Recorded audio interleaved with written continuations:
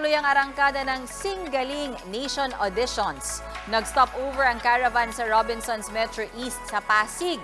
Paghahanap ito sa mga kaawit bahay na bet maging sing testant. Kasama sa mga nag-scout sina Sing Master K. Brosas at Chuk Boses Ethel Buba at Ronnie Liang. Nakikanta rin sila.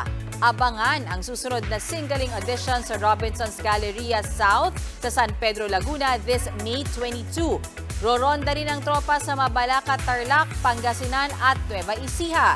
Sing you there mga kapatid.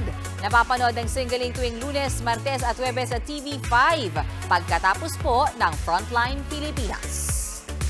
Ang ating singling audition, tuloy-tuloy po yan sa lahat ng mga malls at signal stores nationwide. Kaya mag-audition na